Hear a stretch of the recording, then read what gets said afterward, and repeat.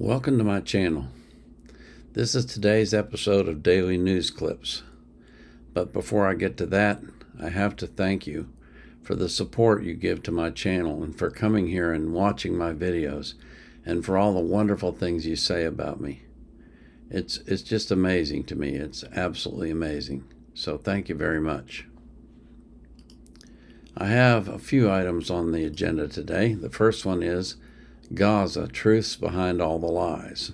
if you're not familiar with Victor Davis Hanson, he is a history professor who is quite intelligent and quite knowledgeable about history, especially ancient history.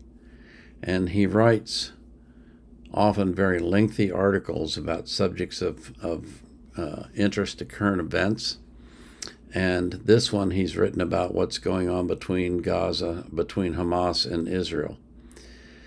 And I highlighted a couple of things in here that I thought were significant. The first one is Israel risks the lives of its soldiers to prevent civilian deaths.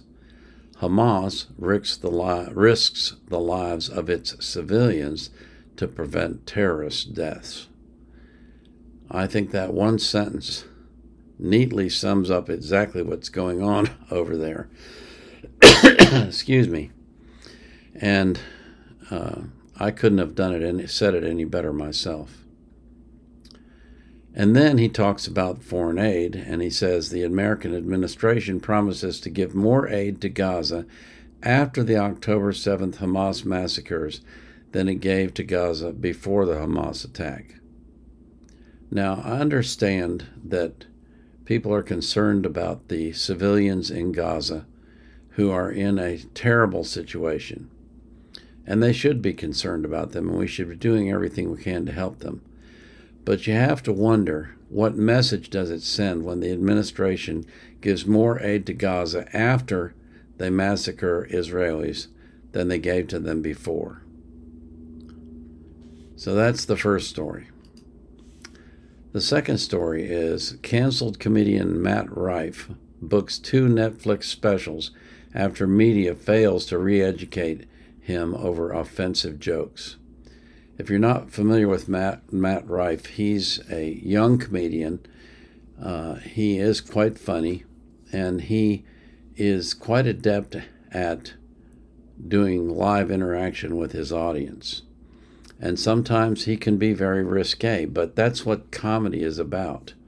And of course, the uh, monitors, the censors who want to try and control our lives and tell us everything we can and can't do, want to shut Matt up because he's not saying the right things. But it's backfired, and he now has two Netflix specials. So that's an interesting article to read. The third article is Dr. Jordan Vaughn, Long COVID, Long Vax, and the Iliac Vein podcast. Now, these last two items that I'm giving to you, they are lengthy. This this this one is about 45 minutes. the next one I'm tell you about is about an hour and a half. So you're going to have to set aside some time if you really want to watch these. But I think they're worth watching. This one is a podcast by Sharyl Attkisson, and she talks with a doctor who has identified uh, problems with the iliac vein. Now, I, am not, I'm not very. My wife is a registered nurse, but I'm not very familiar with medicine at all. Uh, I just know, you know, what the average person knows. But I've recently become aware that there is a, a vein in your body called the iliac vein, both the left and a right and that can cause problems. And what the doctor talks about is that, and it's kind of an odd comparison, but he compares the arterial system of your body to like the water system in a city. It's always under pressure, it's always pushing the water out. And so when you open the tap, water comes out because it's under pressure. But the venous system of your body is like the sewer system. It's passive. There's nothing pushing fluids through the through the uh, sewer system. There's nothing pushing fluids through the venous system. What makes the fluids in your body move around in the veins is physical activity. And so, interestingly enough, some of these people that are suffering from long COVID are having problems with moving blood through their veins and they're ha- having clots and those sorts of things, which can be very dangerous. And he talks about that and how his research and his work with patients uh, seems to be alleviating that problem. And finally, I have a documentary that's about an hour and a half long called Climate, the movie, The Cold Truth. And it's on YouTube, and it's I I've watched the whole thing, and I can tell you that it's uh, it's a very interesting uh, documentary. They interview um, some of the top scientists in the field, who all agree that the uh, the climate change story is being exaggerated and blown up, and it's not scientifically based. And so they talk about what their their knowledge about uh, the sun and other uh, things that affect our, our climate, and how those are much more important than CO2.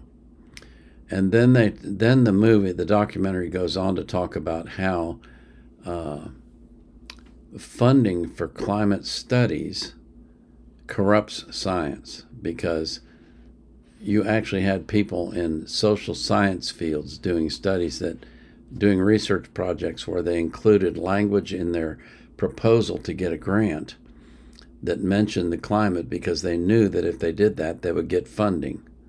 Because they're just going to fund anything that has to do with the climate. And then towards the end of the documentary, it talks about the political ramifications, how it affects people in Africa, and how people in the Western worlds are beginning to rebel against this because they're realizing really what this is uh, is a move to impose authoritarian regimes across the world. So it's very interesting. I enjoyed watching it. You might enjoy it too, so I thought I would mention it to you. So that's the news for today. I thank you for coming to my channel, and I pray for you every day. I pray that you will have an abundant life, that you will live a long time, that you'll be healthy, and that God will keep you safe from harm. I pray that He'll do the same for every person that you love. And I pray most of all that you will be anxious for nothing, but in all things, through prayer and supplication with thanksgiving, you'll make your requests known to God and the peace that passes all understanding will keep your heart and mind in Christ Jesus. This is the Vietnam Era Vet out.